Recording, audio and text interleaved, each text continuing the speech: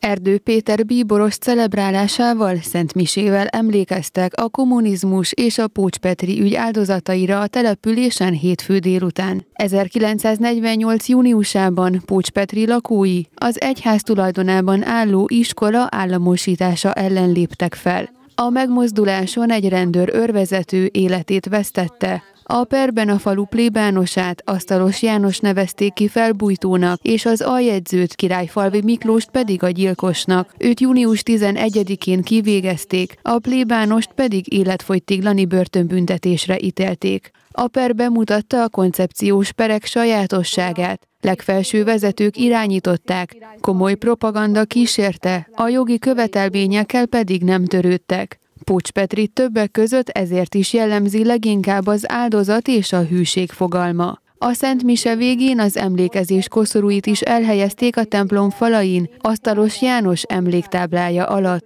A 71 évvel ezelőtt történt eseményekre ünnepi műsorral emlékeztek a településen. Pócs Petriben nem maradt el a szigorú megtollás, a kínvallatások, szinte végigverték az egész falut, 72 órán belül kivégezték a segédjegyzőt, rákényszerítve a bűncselekmény elvállalását.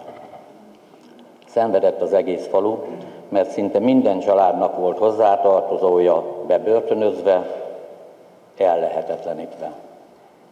A súlyos bélyeg évtizedekig rajta maradt a településen, és ez az állapot csak 1990 után oldódott fel, mikor per újra felvétel során a bíróság kimondta, hogy nem történt bűncselekmény, az elítélteket felmentették a vádalók. A bolsevisták a háború és megtorlás után nem csak a materiális javainkat és vagyonunkat akarták felszámolni, hanem a lelkünket, a hitünket és kultúránkat akarták megsemmisíteni, emelte ki beszédében Kásler Miklós az emberi erőforrások minisztere. Köszönöm azoknak, akik felújították a pert, ami egy egyedi rehabilitáció volt, én szívem szerint azt mondtam volna, hogy egyetlen egy törvényben mondjuk ki, hogy minden törvény, ami a diktatúra alatt született, hatáját vesztette. Én úgy gondolom, hogy Pocs Petri emlékezzék.